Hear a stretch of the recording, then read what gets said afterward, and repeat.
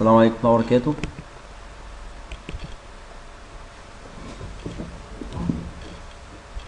في البداية طبعا برحب بيكم يا جماعة. وبعتذر جدا جدا على التأخير معلش. آه، الصوت واضح كده يا جماعة؟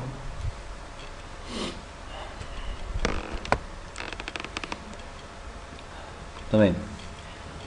طبعا في البداية يا جماعة إن شاء الله عايزين نتفق بس على بعض الحاجات كده. إن شاء الله النهارده هنخلص الجزء الخاص بال Peachtree اللي هو ال sales تمام؟ إن شاء الله الجزء ده بسيط مش هياخد معانا حاجة. تاني حاجة عايزين نتفق على الامتحان. آه، طبعا الامتحان المفترض إن أنا هديك امتحان على ال account Excel وال Peachtree. فطبعا بعد ما نخلص الجزء بتاع النهارده هيبقى ناقصنا تمرين. التمرين ده اللي هو التمرين النهائي اللي هبدأ آه، ألم بيه الدنيا كلها اللي أنا خدتها في الفترة اللي فاتت. تمام؟ طيب. آه النهارده عايزين نحدد الامتحان بحيث إن ندي فرصة للناس إن هي تذاكر مرة تانية وتبدأ تراجع مرة تانية. فطبعا آه إن شاء الله إحنا كده ناقصنا محاضره النهارده ونخلص البيتش 3 بعد كده هناخد التمرين بتاعنا وليكن ممكن بالكتير قوي يكون في 3 أيام نخلصه إن شاء الله. آه بعد كده التمرين إن شاء الله على طول هناخد الامتحان. تمام؟ فطبعا النهارده اللي هو النهارده الحد. وبكرة هيبقى الأربعاء تمام؟ يعني بكرة هنبدأ في يعني سوري مش بكرة الأربعاء المحاضرة الجاية الأربعاء. يعني المحاضرة الجاية هنبدأ في التمرين. هياخد معانا كمان يومين يعني هياخد الأسبوع الجاي كله تمام؟ فتحبوا إن شاء الله الامتحان يكون الأسبوع اللي بعده على طول؟ يعني إحنا ممكن نعمل كده إيه؟ نعمل فوت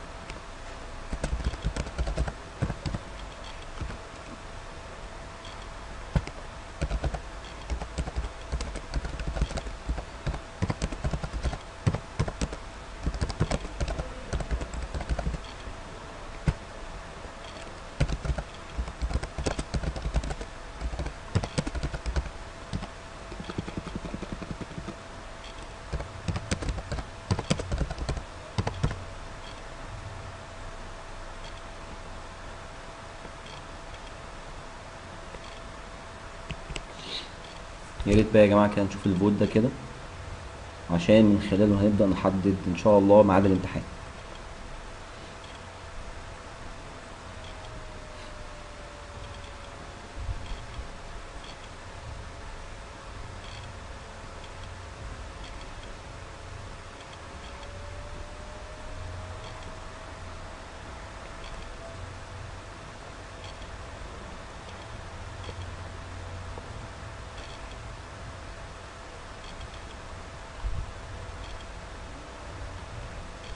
آه ان شاء الله يا جماعة أي حد ليه فرصة في الامتحان.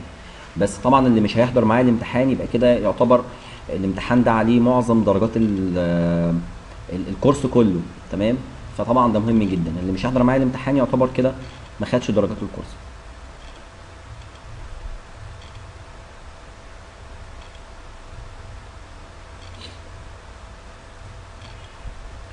تمام؟ فطبعا لازم هنهتم بالامتحان ده كويس جدا. الامتحان نظامه إن شاء الله يبقى أونلاين.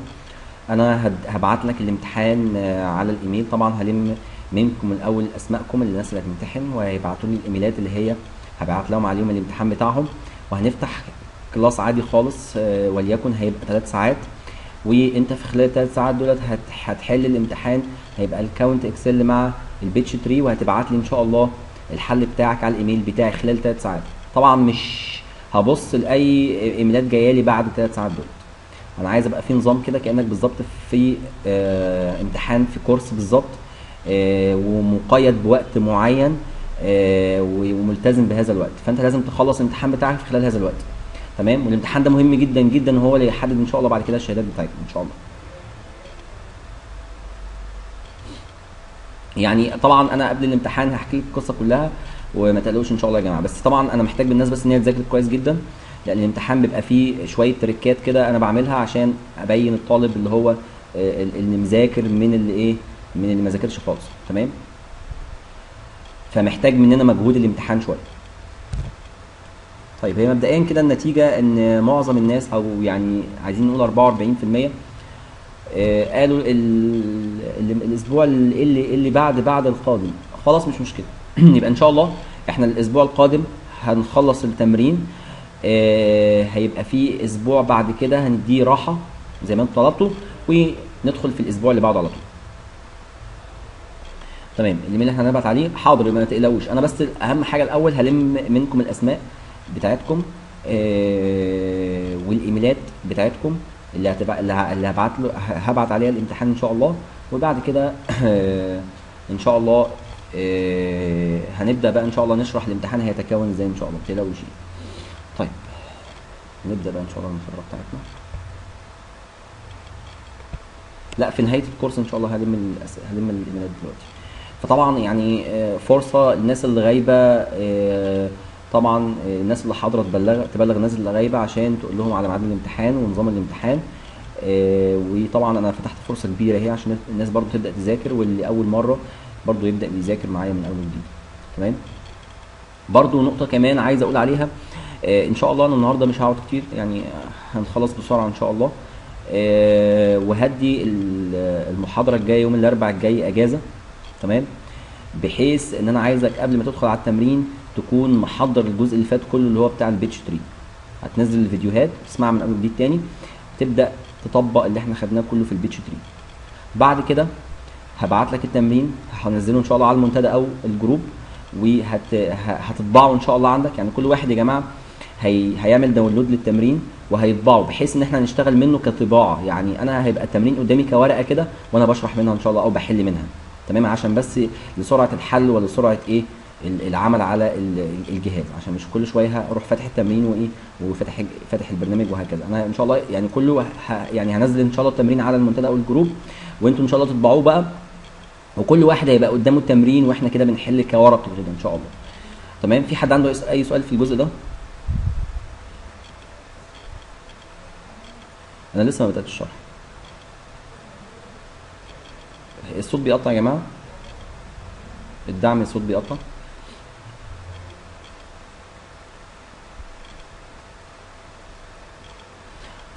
آه الصوت بيقطع معقولة؟ أنا شغلته mega يعني. آه الأربع اللي جاي إجازة إن شاء الله. يا ريت بقى الدعم يعني ينسق الموضوع إن شاء الله. ان شاء الله الت- التمرين هنزله ان شاء الله يعني بكرة يكون نازل على المنتدى وال group ان شاء الله مع بعض. آه، والمطلوب منكم ان أنتوا طبعا تطبعوه وحتى كده يعني تبدأوا تبصوا فيه كده وإيه وت- وتعرفوا فكرة مبدئية عنه عشان تبقى برضو إيه معايا كده وأنا بشرح التمرين إن شاء الله. طيب نبدأ بقى الكورس بتاعنا إن شاء الله. طيب يا ريت بقى نقفل الشات يا جماعة. الأربع القادم أجازة إن شاء الله. في صوت بس أنا لسه ما شرحتش. طيب يا ريت نقفل الشات بقى.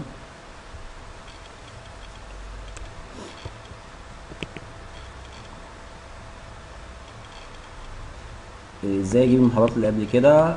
هتلاقيها على المنتدى وال group. يا ريت الدعم يكتب لها المنتدى وال group. طيب. اعمل screen الشاشة.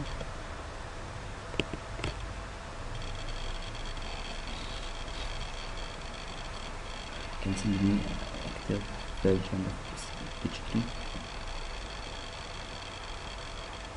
ال- احمد جمال إحنا شغالين على البرنامج 2006 وهتلاقيه على الجروب ان شاء الله أو على المنتدى تمام بصوا يا جماعة طبعا إحنا توقفنا المره اللي فاتت على آه عند الجزء اللي هو بتاع السيلز طبعا ده الجزء اللي إحنا هنبدا فيه ان شاء الله إحنا طبعا خدنا الجنرال ليدجر وخدت ال inventory وخدت ال purchase بتاعتي وخدت بعد كده إن شاء الله هاخد آخر جزء اللي هو ال sales اللي هو المبيعات. تمام؟ آه طبعا قسم المبيعات هو من أكبر الأقسام اللي موجوده عندي في البرنامج. آه قسم المبيعات يا جماعة بيتكون كالآتي. طبعا أي قسم موجود في البرنامج عندي بيتكون من ثلاث أقسام. القسم اللي على اليمين بيبقى خاص بال reports بتاعتي. والقسم اللي على الشمال بيبقى خاص بإضافة الكائن الخاص بهذا القسم يعني وليكن أنا سيلز يبقى هضيف كاستمرز والقسم اللي على ال- اللي في النص بيبقى خاص بالدورة المستندية المتبعة في عملية البيع. طيب تعال ناخد أول قسم اللي هو من الشمال اللي هو الكاستمر طبعا ما دام أنت هتعمل عملية بيع يبقى المفترض إن أنت هتبيع لإيه؟ لعملاء. فطبعا العملاء دولت لازم تبدأ تسجلهم الأول على البرنامج بتاعك. تعرف البرنامج إن أنت بتتعامل مع عملاء عملاء معينين تمام؟ فأول خيار عندي اللي هو الكاستمرز إن أنا إيه بضيف عملاء. تعال نفتح كده النافذة دي.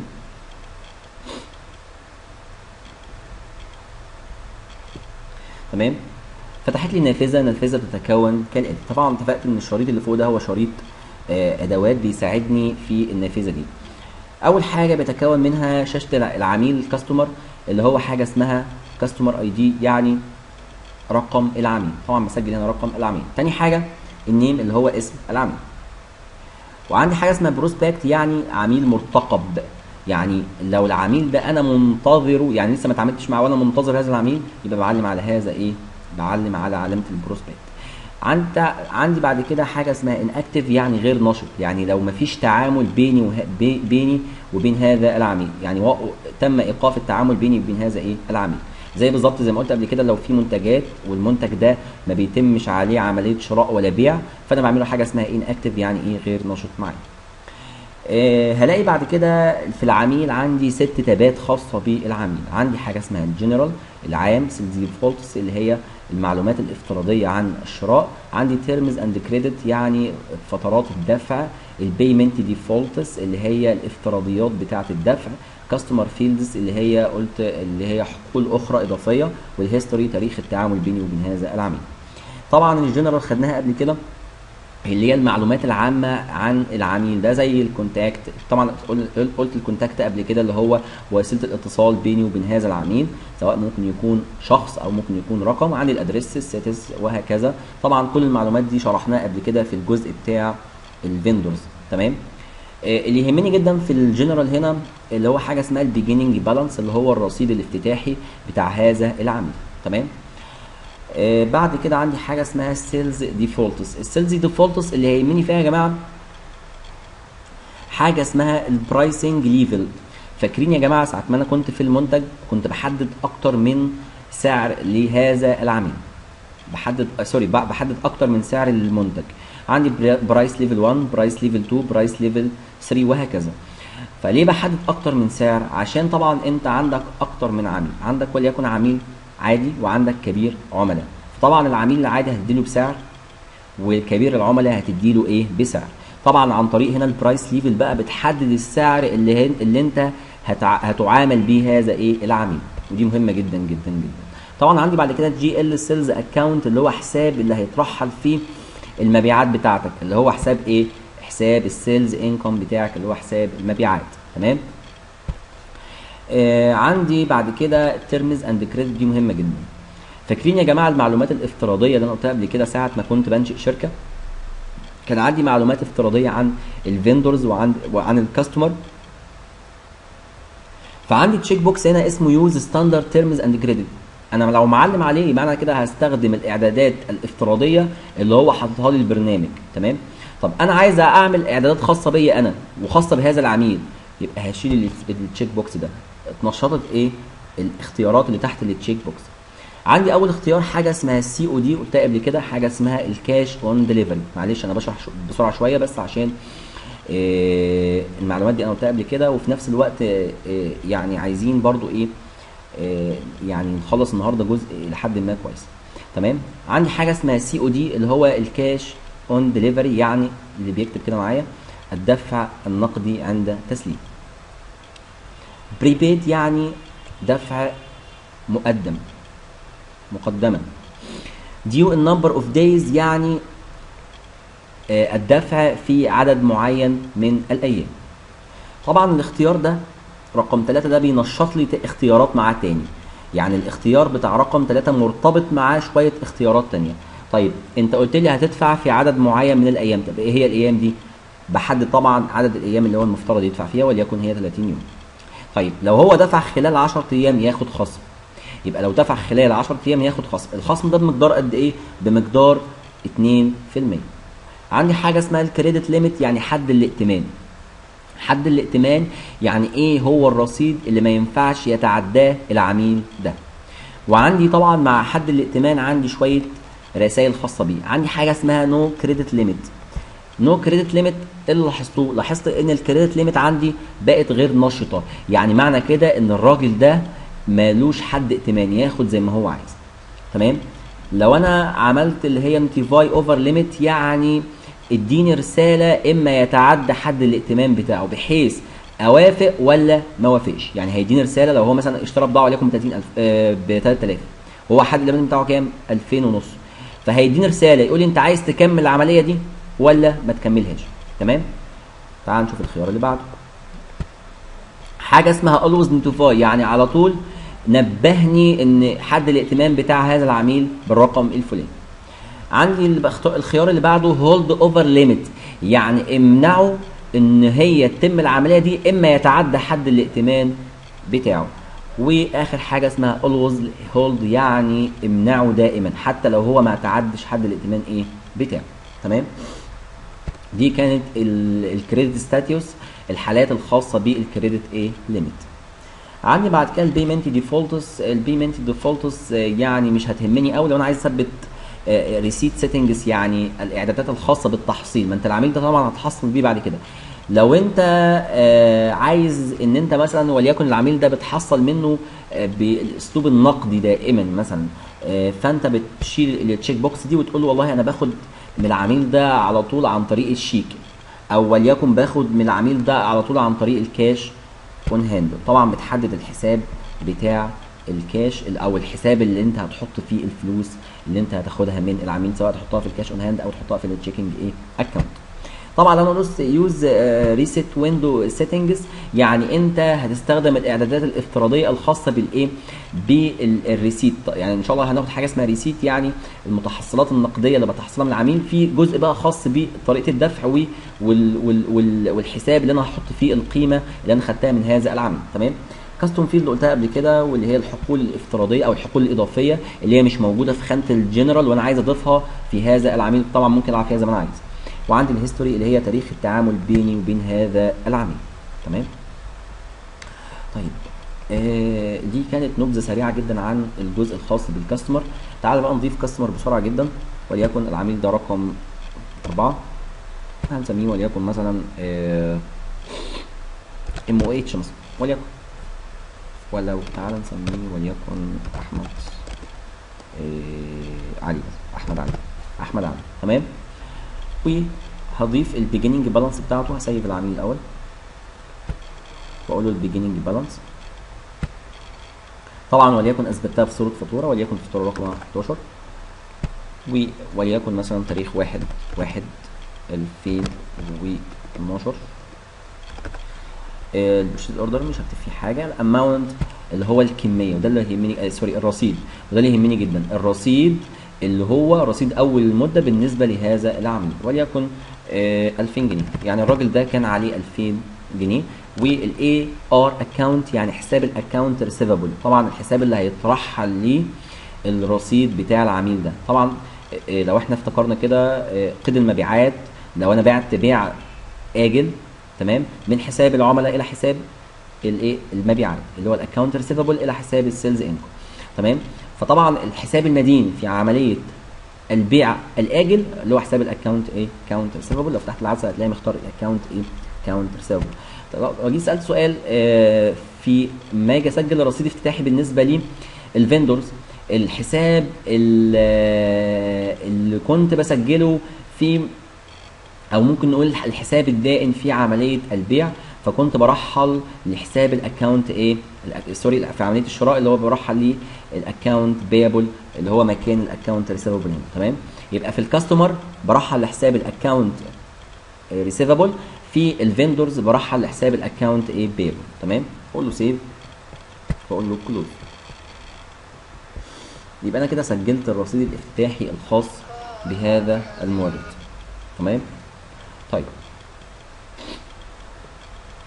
تعالوا نقول كلوز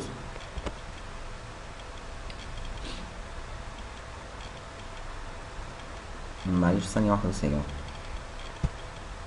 ثانية واحدة بس ورجع لك إن شاء الله.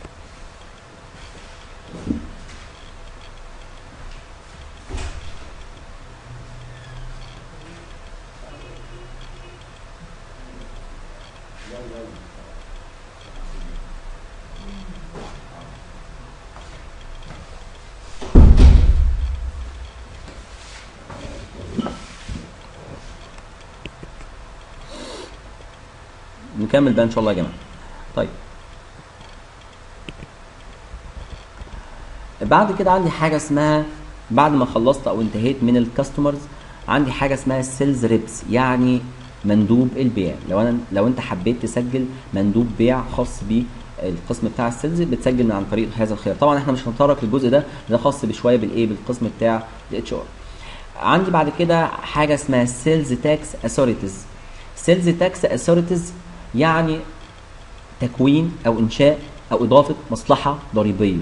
تمام؟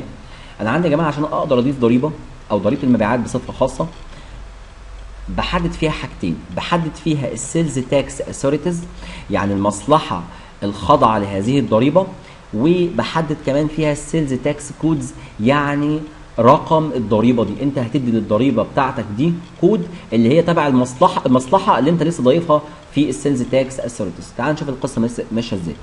أنا عندي اول حاجة في ال sales tax authorities لما افتح النافذة دي. أنا هنا كنت مسجل مصلحة ضريبة امسحها. ونبدا نسجل من أول.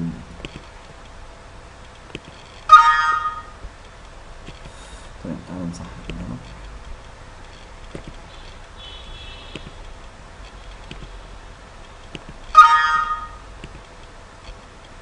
ماشي مش مشكلة.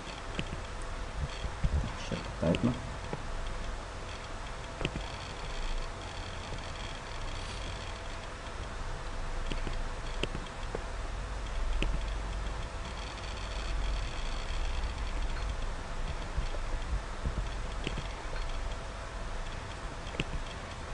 تمام. ال sales tax authorities أول حاجة النافذه دي بتنقسم لحاجتين. أول حاجة الجدول اللي فوق ده وهو الجدول اللي بيظهر فيه كل المصالح الضريبية اللي انت ضفتها تمام؟ الجزء اللي تحت من خلاله بتقدر تضيف إيه؟ المصلحة الضريبية بتاعتك. أول حاجة ال ID بتدي رقم للمصلحة الضريبية وليكن واحد.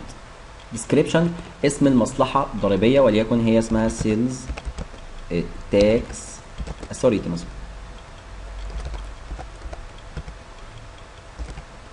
authority مثلا وليكن. ال tax payable to يعني انت ممكن طبعا هنا عن طريق هذا الخيار بيفتح لك كل العملاء كل الموردين اللي عندك في البرنامج فانت ممكن تضيف المصلحة دي كأنها vendor بالظبط و تسجلها أو تختار إن هي خاضعة لهذا إيه هذا المورد كهي vendor يعني كمورد يعني. تمام؟ لكن أنا ما بجيش جنب الإيه جنب الخيار ده. عندي بقى الخيار المهم جدا حاجة اسمها sales tax payable GL account يعني الحساب اللي انت هترحل فيه الضريبة دي. طبعا يا جماعة ضريبة المبيعات دي هي ضريبة انت بتضيفها على العميل وبعد كده بتروح دافعها لمصلحة الضرايب فطبعا الفلوس اللي انت حصلتها من العميل دي فلوس مش بتاعتك. دي انت هتوردها لمصلحة الضرايب بعد كده. فطبعا تعتبر التزام عليك فأنا بضيفها في الجانب الخصوم اللي هو ال liabilities فعندي الحساب اللي هيترحل ليه الجزء ده اللي هو حاجة اسمها ال sales tax payable يبقى أنا هختار هنا من العدسة ال sales tax payable اللي هو حساب ضريبة المبيعات. تعال ننزل تحت كده. عندي حاجة اسمها sales tax payable اللي هو حساب ضريبة المبيعات. هي حتى مصنفة تحت ال other current liabilities يعني خصوم متداوله أخرى تمام. نيجي بقى لأهم حاجة حاجة اسمها single tax rate يعني المعدل الضريبة بتاعك. انت بتدفع معدل كام لهذه الضريبة أو لهذه المصلحة وليكن أنا بدفع 10% خلاص؟ قول له enter يبقى انت كده بكل بساطة قدرت تضيف مصلحة ضريبيه قول له save وبعد كده أقول له إيه؟ close تمام. طيب عايز بقى أدي للمصلحة الضريبية دي أدي لها كود. الكود ده هيفيدني في إيه؟ بحيث والله ما أقول إن ال- الكود رقم واحد أو الضريبة رقم واحد دي خاصة بضريبة إيه؟ المبيعات وهكذا. تمام؟ فأنا عندي وليكن هنا طبعا نفس القصة برضو الجزء اللي فوق ده جزء الجدول الخاص بالأكواد بتاعة الضرائب كلها اللي هيظهر فيه الأكواد بتاعة الضرائب كلها وهنا الجزء اللي تحت ده من خلاله بقدر أضيف ضريبة. بضيفها بضيفها آه، بضيفها إزاي؟ بضيفها عن طريق إن أنا بكتب هنا رقم واحد في ال sales tax code وبعد كده بكتب في ال description هنا الوصف بتاعي أو اسم الضريبة دي وليكن دي ضريبة ال sales إيه؟ ال sales tax اللي هي ضريبة إيه؟ المبيعات. تمام؟ طيب هنا بقى عايزة يعني عايزة إيه؟ عايز أصنف الضريبة دي إن هي أقول إن هي تبع مصلحة الضرايب المبيعات اللي أنا كنت لسه ضايفها في الإيه؟ في ال sales tax authorities. فهقول له إيه؟ هعلم على ال ID هنا وهكتب له رقم واحد. مش أنا كنت عاطي مصلحة الضريبه المبيعات رقم واحد في ال sales tax authorities؟ آه. وأقول له enter. عمل لي إيه؟ قال لي آه أنت واحد ده اللي هي sales tax authority والمعدل بتاعها rate والحساب ال GL account اللي هو حساب ال sales tax payable اللي هو حساب ضريبة المبيعات مظبوط وبعد كده أقول له إيه؟ أقول له save إيه اللي حصل؟ ظهرت لي هنا في الجدول اللي فوق إن أنا عندي الضريبة اللي اسمها واحد أو اللي رقمها واحد دي يعتبر هي ضريبة إيه؟ ضريبة مبيعات وبالمعدل 10% عندي حاجة أخيرة tax freight يعني آه، ضريبة الشحن. تمام؟ أقول له close يبقى أنا كده قدرت عن طريق الخيار ده أو الجزء ده أنا اضيف customer sales reps وأضيف ال sales tax authorities وأضيف حاجة اسمها ال sales tax code عشان أقدر أضيف ضريبة لازم بضيف المصلحة اللي أنت هتدفع هتد- أو تروح تدفع لها الضريبة دي وتضيف رقم هذه الضريبة. تمام؟ تعالى بقى يا جماعة كده نشوف بقى الدورة المستندية الخاصة بعملية البيع. خلي بالنا يا جماعة إن البرنامج هنا بيتبع دورة مستندية خاصة بعملية البيع. أول حاجة في هذه الدورة عندي حاجة اسمها sales quotes sales quotes اللي بيكتب كده معايا حاجة اسمها عروض أسعار. طيب أنت بتعمل عروض أسعار بناء على إيه؟ بناء على الآتي. إن أنت مثلا المورد أو sorry العميل اللي أنت هتبعت له عرض الأسعار ده هو باعت لك PO من عنده. PO يعني إيه؟ خدناها قبل كده. purchase order من عنده. يعني أمر شراء هو قال لك والله أنا عايز أشتري الكميات الفلانية. هي عندك هي عندك عاملة كام؟ أو عندك عاملة أسعار قد إيه؟ فأنت بتبعت له بناء على ال PO اللي هو بعته لك بتبعت له إيه؟ عرض أسعار كناحية تنظيمية. بتقول له والله أنا عندي ال- الكميات اللي أنت بعتها دي هتبقى عاملة الأسعار الفلانية بالمبلغ الفلاني وال total بتاع الفاتورة أو ال total بتاع عرض الأسعار ده هيبقى الرقم الفلاني. تمام؟ طيب هو لو وافق على آه، عرض الأسعار ده آه، واقتنع بيه بيبعت لك يقول لك والله أنا موافق على هذه الكميات وبعت لي الكميات اللي موجودة في عرض الأسعار. بعد كده أنت بتعمل حاجة بقى اسمها ال sales order بتدي أمر بيع. أمر بيع إن أنا والله أنا عايز يا يا يا مخزن أنا عايز والله الكميات دي. متاحة ولا مش متاح؟ تمام. بعد كده بتعمل بقى sales invoicing يعني إيه sales invoicing يعني فاتورة المبيعات. وهي دي المرحلة اللي بتؤثر على ال- الحسابات بتاعتك. معنى ان انت بتعمل فاتورة مبيعات يعني البضاعة خرجت بالفعل منين؟ من المخازن وراحت للعميل. لكن سواء عملت sales quotes أو عملت sales order ده لا يؤثر بالحسابات بالمرة ولكن دي ناحية تنظيمية عشان انت بتتبع اسلوب معين في الدورة الايه؟ المستندية بتاعتك. تمام؟ بعد كده عندي حاجة اسمها credit memos يعني مردودات المبيعات. لو العميل ولا حاجة رد لك بضاعة تانية فانت بتثبتها عشان تدخلها إيه؟ المخازن. آه وعندي بعد كده حاجة اسمها receipts طبعا البي سايلنت receipts يعني المتحصلات النقدية. طبعا دي بقى اما العميل بيجي يسدد الفلوس اللي عليه فأنت بتثبتها عن طريق حاجة اسمها receipts اللي هو الإيصال النقدي ده. تمام؟ دي بكل بساطة الدورة المستندية المتبعة في البرنامج. تمام؟ طيب تعالى بقى إحنا نبدأ بقى. إيه طبعا هضيف عميل بس بسرعة كده عشان أنا ما ضفتش عميل قبل كده في الشركة القديمة. تمام تعال نضيف هنا واحد وليكن. العميل ده اسمه أحمد كامل. وهضيف له beginning بالانس بس وليكن 11 واحد. واحد. 2011 وال amount كان ب 2000 تمام. أقول له close تمام؟ طيب تعالى بقى نشوف ال sales quotes كده شكله عامل إزاي. ال sales quotes يا جماعة زي ما أنتم شايفين كده هو عروض أسعار. طبعا انت أول حاجة بتحدد العميل اللي انت هتبعت له عرض الأسعار ده وليكن العميل اللي هو اسمه أحمد كامل. فطبعا بتظهر معلومات الخاصة بهذا العميل. بعد كده عندي حاجة اسمها ال date اللي هو تاريخ تحرير عرض الأسعار. ال good thru التاريخ قلت قبل كده التاريخ الأمثل في تنفيذ عرض الأسعار ودي مهمة جدا. ال quote number بقى دي مهمة جدا إن هو رقم عرض الأسعار ده تمام؟ وليكن هديله رقم 12 عندي بقى في الجدول اللي تحت ده هو الجدول اللي أنت بتحدد فيه الكميات الكميات آه المطلوبة بناء على البي أو حتى هو كاتب لك لو انت لاحظت كده في الجزء اللي فوق ده الكاستمر بي أو يعني رقم أمر الشراء بتاع العميل اللي انت آه بناء عليه عملت إيه؟ عملت عرض الأسعار ده وانت بتكتبه وليكن. تمام؟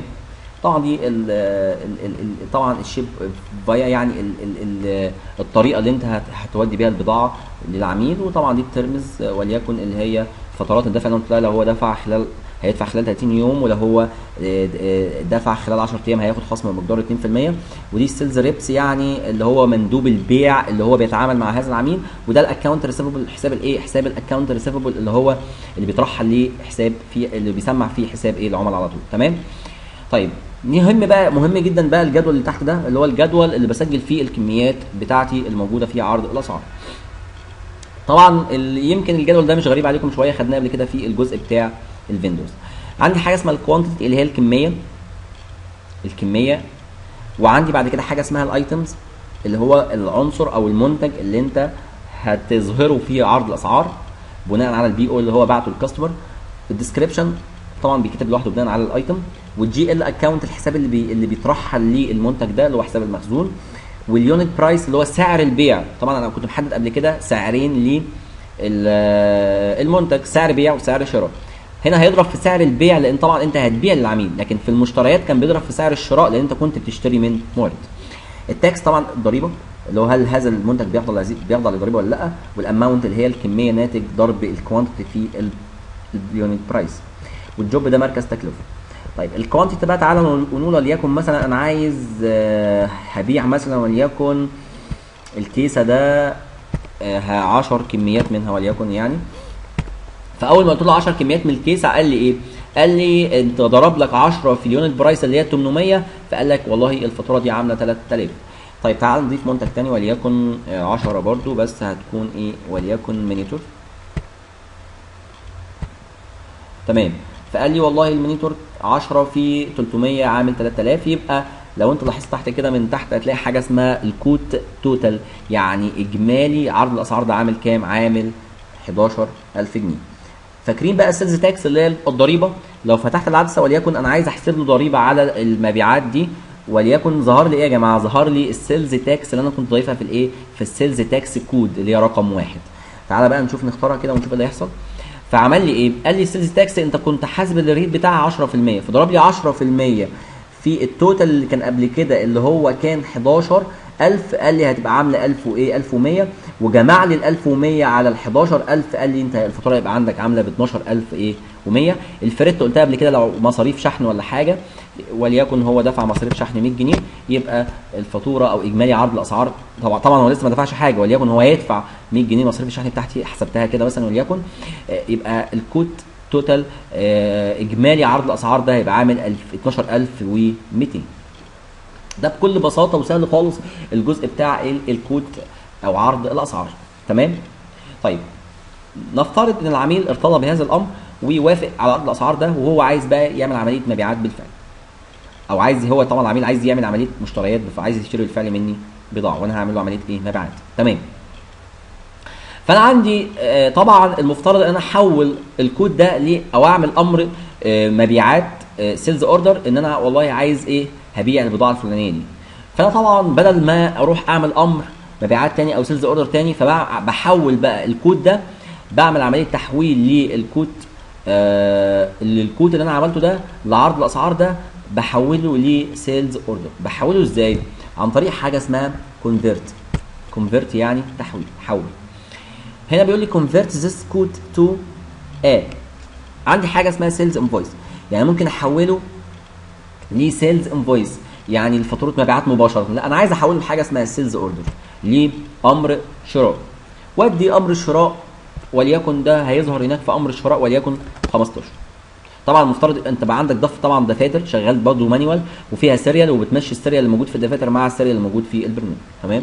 بعد كده هقول له هنا إيه؟ okay. تمام يا جماعة؟ طيب إيه اللي حصل؟ طبعا لو أنا كده دورت على ال quotes اللي أنا كنت عامله من شوية مش لاقيه خالص اختفى. ما راح فين؟ طب تعالى بقى نقفل النافذة دي كده. ونفتح ال sales orders اللي هو عروض الأسعار بتاعتي. وندوس على السهم الأخضر ده شمال. آه لقيت إيه يا جماعة؟ المفاجأة إن أنا لقيت ال ال ال quotes اللي أنا كنت عامله من شوية اتحول ل sales order بناء على أمر ال convert اللي أنا إيه اللي أنا عملته. يبقى أنا كده خلاص ال sales order بتاعي جاهز آه وممكن طبعا أظبط فيه أي حاجة أو أضيف فيه أي حاجة بناء طبعا على الكمية اللي عايزها إيه العميل. تمام؟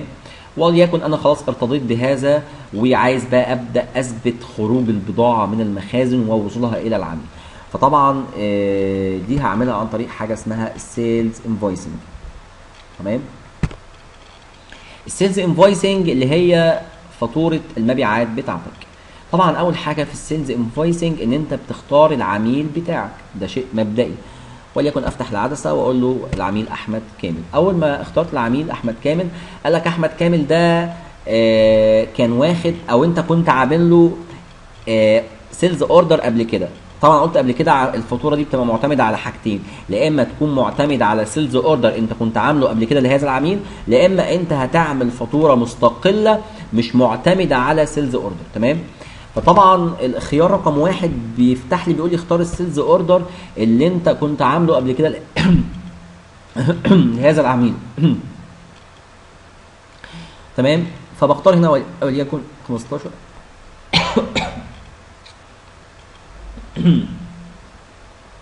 وليكن 15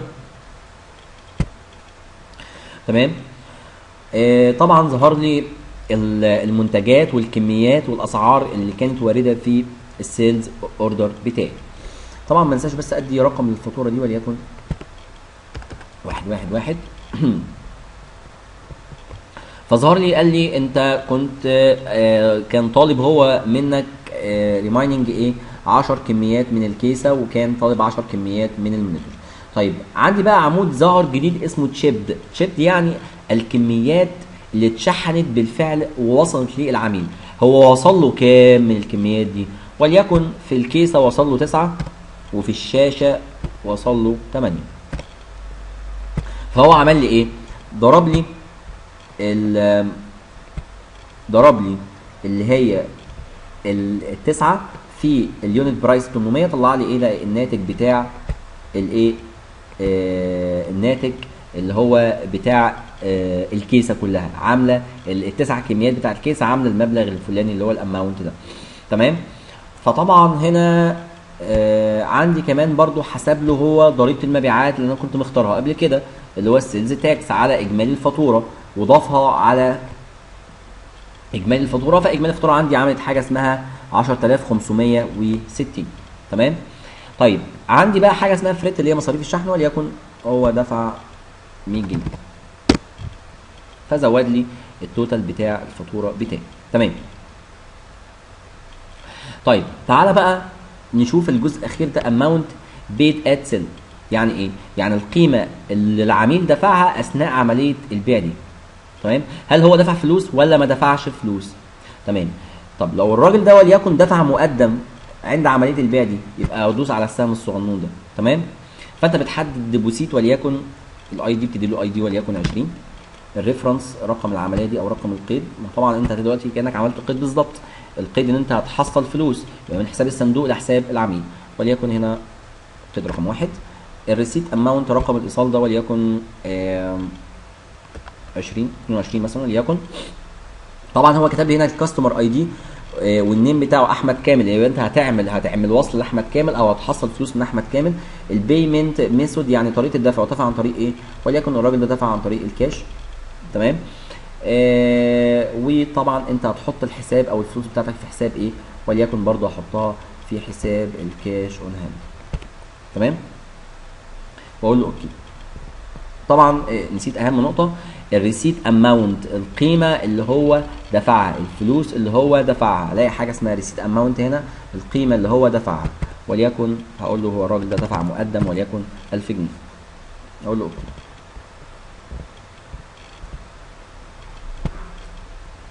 إيه اللي حصل يا جماعة؟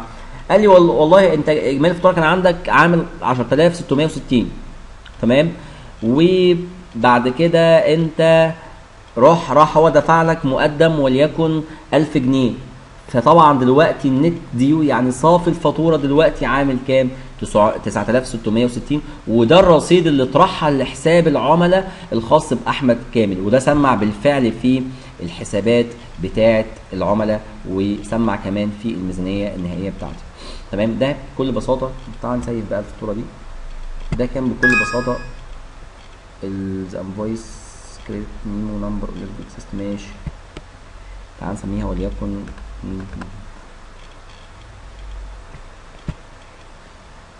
طبعا ظهر لي رسالة يا جماعة دي وخلي بالكم بقى. بيقول لي the transaction causes customer balance to over the credit limit by كذا.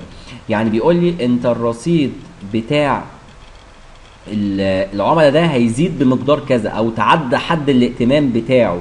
فأنت عايز تعمل له عملية continue يعني تكمل العملية دي ولا لأ؟